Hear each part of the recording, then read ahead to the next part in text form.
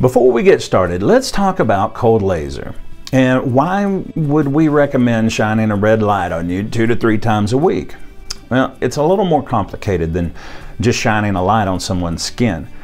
First, its origins. In 1967, a few years after the first working laser was invented, Endre Mester in Semmelweis University in Budapest, Hungary, experimented with the effects of lasers on skin cancer. While applying lasers to the backs of shaven mice, he noticed that the shaved hair grew back more quickly on the treated group than did on the untreated group. Its wide array of uses have been explored since then, and they had no idea where it would lead them, I promise you. When we think of la lasers, we think of burning or cutting lasers. Well, cold laser is actually called low level laser, and it's different. You really don't feel it at all during the treatment, and it works by stimulating cell function. There are too many papers to mention, but we'll highlight a few real quick. Alghadir et al. proved that cold laser is effective for pain relief and function in patients suffering from chronic osteoarthritis of the knee joint.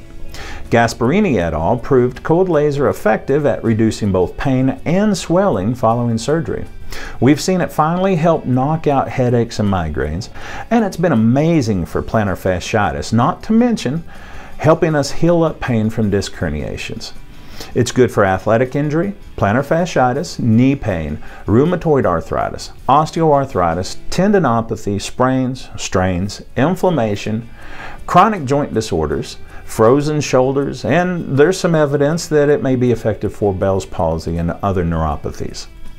Common results of cold laser treatment are faster relief from pain, strong anti-inflammatory effect, timely healing of sprains and strains, up to three to six times faster, and improvement of circulation at the treatment area. In this day and time, we don't have time to be down with sprains, strains, arthritic pain, or joint pain. We're just too busy for that stuff. Uh, you're seeing this video because research shows that we can help decrease the inflammation causing your pain.